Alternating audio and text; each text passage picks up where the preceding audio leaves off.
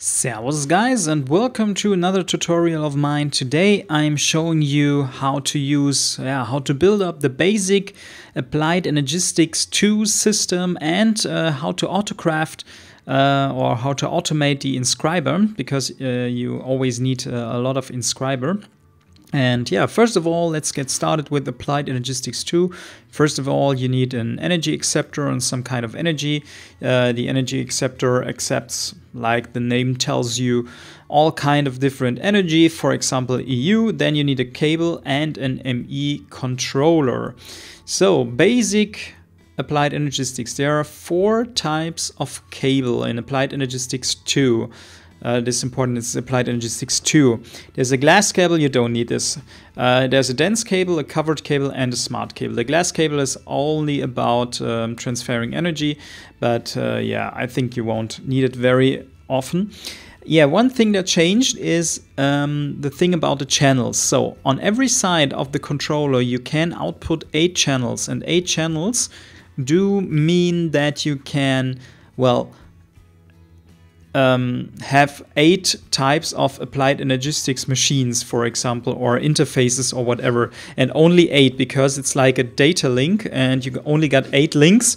And uh, yeah, with the dense cable, you can enhance this a bit because a dense cable um, is capable of handling 32 channels. So every side of the controller can handle 32 channels. And yeah, you can have a, a smart cable from the dense cable apart so you can multiply these channels. Again, you can have multiple controllers, of course.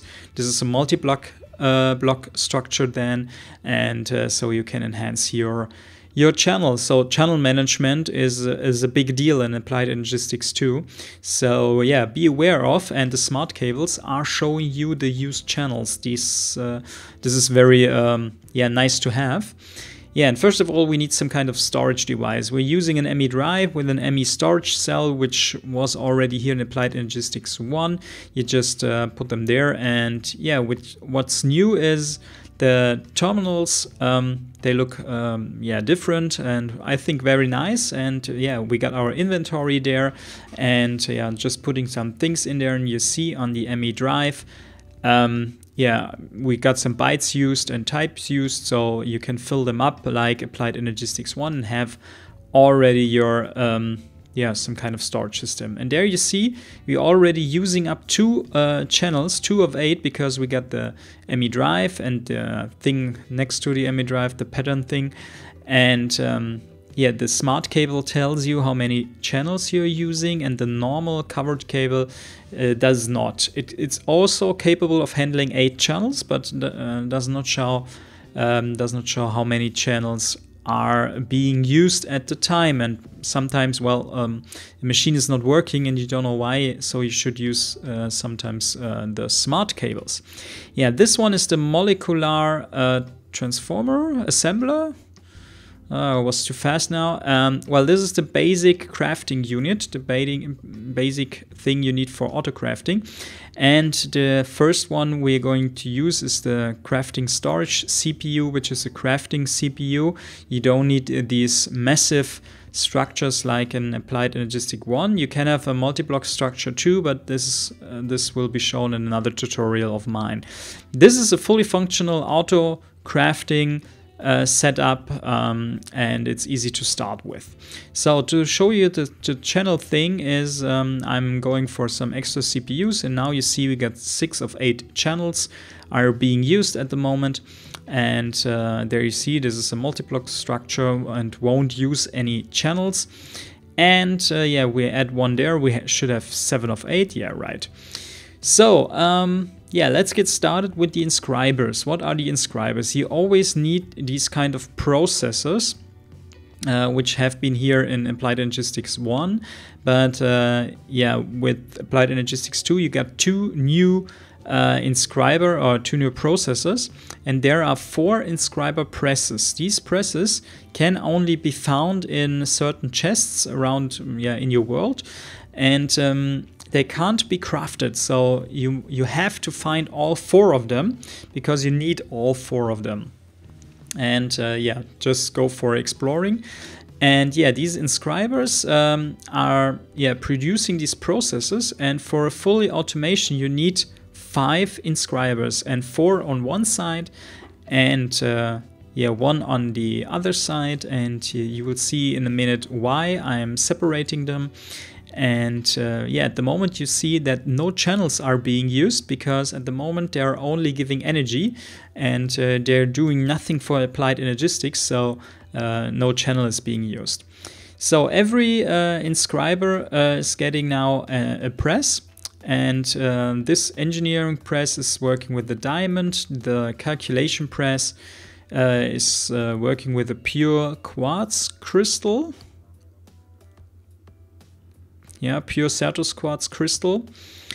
The which is next the logic press is working with gold, with gold ingots. And the last one is the silicon press, which is working with silicon. Silicon, by the way, is made out of sand in a sag mill. So this one is now uh, a printed silicon. So you need, first of all, one of every type. This is very important. Yeah, you get all the different circuits um, which result in different uh, processors. And yeah, these are the four you need. So in the other one, um, we are now producing our processors and it's working always like this. In the middle is always redstone and in the lower spot is always the silicon thing. The upper spot is uh, reserved for one of the three remaining uh, circuits yeah, the logic circuits, uh, engineering, and so on, calculation circuit. So you always um, have silicon in the lower spot and redstone in the middle spot. And now we are producing all the three processes because you have to produce them once um, to get your automation done. Uh, so this is not only to show you, but this is important to have your auto crafting. So now we get to our patterns uh, monitor and yeah, we need some patterns to have, uh, yeah, to save our recipes on, on the patterns. Yeah, blank patterns, here we go. And yeah, just put them in there. And on the right side, yeah, you, you can have your crafting recipe, uh, for example. And on this side, you have your crafting pattern and you can change this by click by left clicking to processing pattern. And there we now tell the pattern that one gold results into one um, logic circuit. And um, yeah, the same we're doing for uh, the other things. The uh, silicon is resulting in this uh, silicon circuit, or how is it called? My inventory is kind of full, I'm sorry. And the last thing is the um, oh, the the pure uh, Certus quartz results in this thing and code. And the last thing is the diamond, which results in the engineering circuit. Here we go. By clicking shift, you will see which um, yeah, product uh, is in your recipe or is the outcome of your recipe. And now we need some ME interfaces. Um, these have to be or have to be at the back of the inscribers. This is very important because the back is yeah presenting the middle spot and you need to have them on the back to to get these presses or these circuits into the middle spot. We connect them with our um, smart cable and now you see we're using four channels because because we got four yeah items which are working with applied energistics so we are using four channels at the moment. So now we have to uh, look up the interface and um, giving our recipes into the um, uh, interfaces. And yeah, this is the calculation. So the calculation recipe or pattern uh, printed calculation, yeah, and the last one is the one with diamond.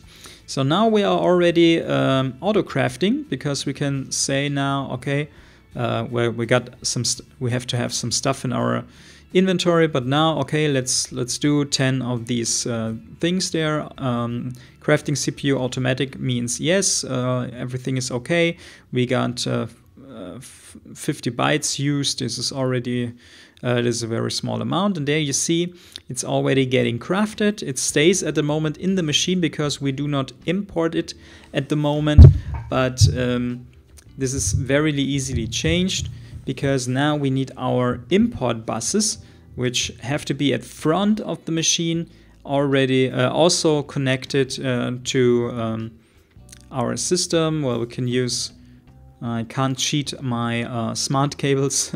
so um, let's use normal cables, doesn't matter. Yeah, just connect them. We need, we're going for one smart cable and now you see another four channels are being used and here we are already full eight of eight channels so we can't do uh, or get there any other machine um, to this side. We had uh, we have to use a dense cable, for example, to enhance this. And uh, yeah, as you can see now, the items are getting yeah imported to our system uh, system. So we are fully automatic, uh, yeah, and producing the circuits now fully automatically. So now we need our processors, yeah, and we still uh, again need some patterns, and we have to tell the system, okay, this logic processor needs one of the uh, logic circuits and yeah that's our next pattern and uh, yeah we do need this for all three processes. and that's what I'm doing. Oh this was wrong. Um, diamond there and it's circuit there. Here we go. Three recipes or three patterns. So now um, this works a bit different. Um, the interface, this is wrong. Don't do the interface at the back because you need um, the um, things at the top um, space. So uh, we need to put the interface right into the top because it's always the same procedure having the um, circuit at top, redstone in middle and silicon at the lower spot. So on top is the interface and we can put all three patterns in there because they're produced all the same. At the back we are going now for an export bus because there's all there has to be always um, has to be um, redstone redstone dust. So we connect this and say okay uh, just export redstone dust in there. If we got some in our system let's check. Okay let's put some redstone in there. Here we go. And now we should see that some redstone is already near. If I'm taking one out another one is getting in so this is working fine. Always redstone in the middle section. The same goes with the printed silicon in the lower uh, in the lower spot. So we need to say to tell the system, okay, always export uh, silicon um, press or silicon, I don't know what it's called exactly, um, to the lower spot. You see in a sec, printed silicon. And now there's an, an enhancement that you can use, which is very nice there's a so-called crafting card. You can put it in the right spot there and tell the system, okay, use the stocked items, but if you do not have it on stock, craft it. And, um, and we have uh, already a recipe for this. So this is getting crafted after um, we ran out of stock. And this is very nice, very useful, uh, and it's completely new to applied energistics. So nearly done. Uh, we have to connect um, this one the interface, of course, to the system. And um, well, we need, of course, an import bus in, in the front to yeah, get everything in our system. And yeah, this is nearly nearly finished. Um, you see all uh, a lot of channels being used at the moment. So let's craft uh, uh, one of the processors, let's say the diamond one. and let's say, okay, we need 10, everything's okay, start up. And yeah, one thing why it's not working is because you need to have some energy because the cables are not connected to the machine itself, so they doesn't um, yeah, transport energy. So you have to have a cable connected directly to the machine. And as you can see, there's no silicon at the moment because it's getting crafted right away. And we have to wait a bit and then you will see that the silicon is yeah, uh, spawning there because uh, it has been crafted by another inscriber.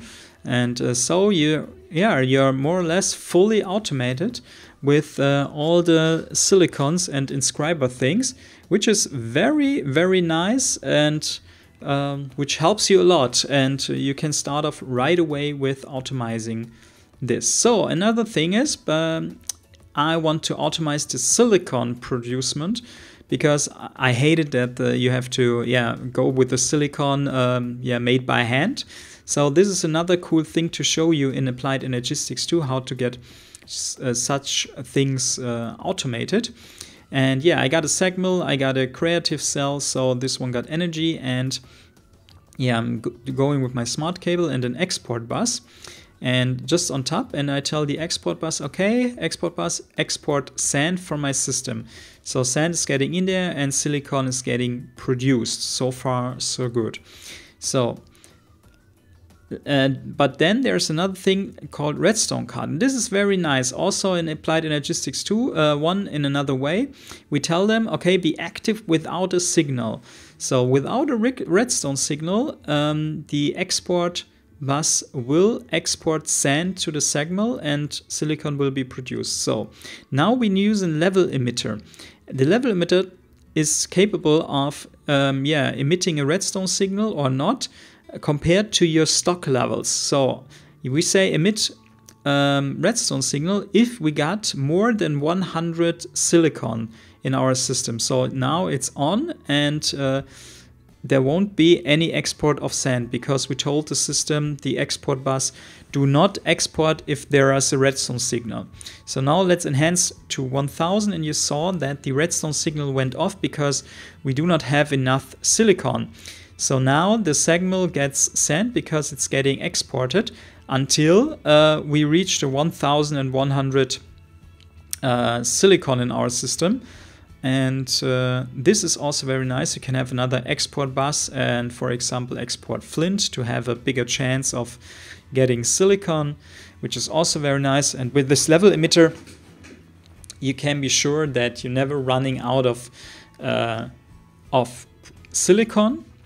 Uh, well, you have to have a source of uh, sand, for example, but um, mainly you're not running out of sand and this is working very fine. And yeah after we can change this again and say okay um, let's say 100 again the red cell signal is on and you see is on and you see um, it's getting nothing is getting exported. Uh, it will always um, finish the things in the machine but then it's over. So I thank you for watching, hoping that this was uh, quite helpful for you. And yeah, wish you a pleasant day, a pleasant week, and see you next time. Servus, guys.